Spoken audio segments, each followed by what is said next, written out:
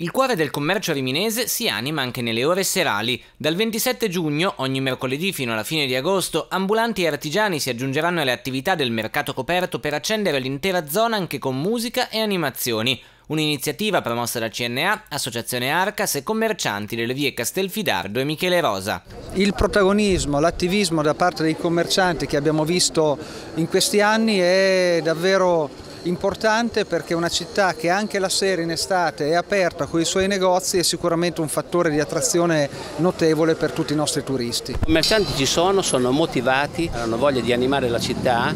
perché questa è una bellissima città, fra l'altro con gli interventi degli ultimi due anni dell'amministrazione e quello che sta, che sta ancora facendo l'amministrazione ci sta mettendo nella condizione di poter lavorare bene e di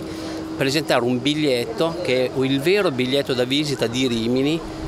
perché dove vai c'è un angolo da scoprire. All'interno del parcheggio di Piazzale Gramsci andremo a, mm, a, far lavorare dei commercianti veri e propri, degli ambulanti del banchi del mercato, saranno all'incirca una quarantina e sempre all'interno del parcheggio verrà allestito un palco dove si esibiranno scuole di danza romagnole, folk, esibizioni di musica dal vivo, anche questo fondamentale, ma la cosa più bella alla quale tengo è anche voler portare nel centro storico i bambini, quindi ci sarà animazione per bambini con gonfiabili, animatrice e giochi e eh, andiamo anche ad aggiungere un valore aggiunto che saranno gli artigiani. Si riaccendono così i riflettori sul mercato coperto in attesa di capire come proseguirà l'iter per la riqualificazione dell'area dopo il progetto presentato oltre un anno fa da Conad disposta anche a mettere sul piatto 15 milioni di euro. E non ci siamo dimenticati di un progetto di finanza che è stato avanzato da parte di un soggetto privato. È chiaro che sono procedure delicate, sono procedure che richiedono approfondimenti e anche nel momento